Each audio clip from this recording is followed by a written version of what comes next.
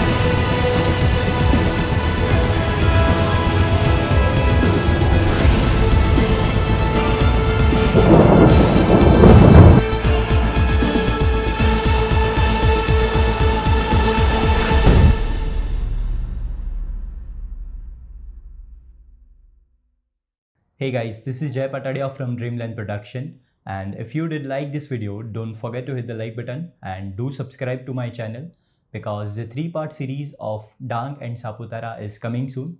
So stay tuned, take care, bye bye.